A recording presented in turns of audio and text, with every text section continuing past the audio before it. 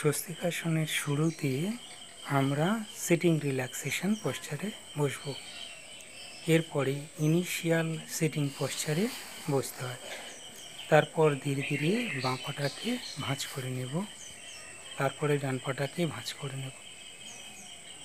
উভয় পাকে এমন একটা অবস্থানে রাখব বিপরীত পায়ের থাই মাসেল এবং কাপ মাসেলের মাঝামাঝি পায়ের পাতা, পায়ের আঙুলগুলোকে যেন অবস্থান রাখা যায়। তারপরে চিন মুদ্রাতে চলে আসব, চোখ বন্ধ করব। স্পাইন নেক ইরেক্ট কোমর, পিঠ, ঘাড়, মাথা সোজা রাখব। এটা হয়ে যাওয়ার পর আমরা আবার ইনিশিয়াল সিটিং পশ্চারে বসবো। তারপরে সিটিং রিল্যাক্সেশন পশ্চারে কিছুক্ষণ রেস্ট নেব। এবার ধীরে ধীরে বিপরীত পায়ে অভ্যাস করার চেষ্টা করব।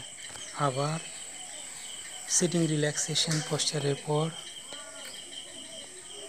ইনিশিয়াল সিটিং পশ্চার তারপরে ডান পাটাকে ভাঁজ করে নেওয়া হচ্ছে, তারপরে বাঁ পাটাকে ভাঁজ করে নেওয়া হলো।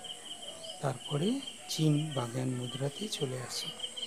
মেরুদণ্ড সোজা, মাথা ঘাড় সোজা থাকছে। আবার চোখ বন্ধ। তারপর ধীরে ধীরে আবার।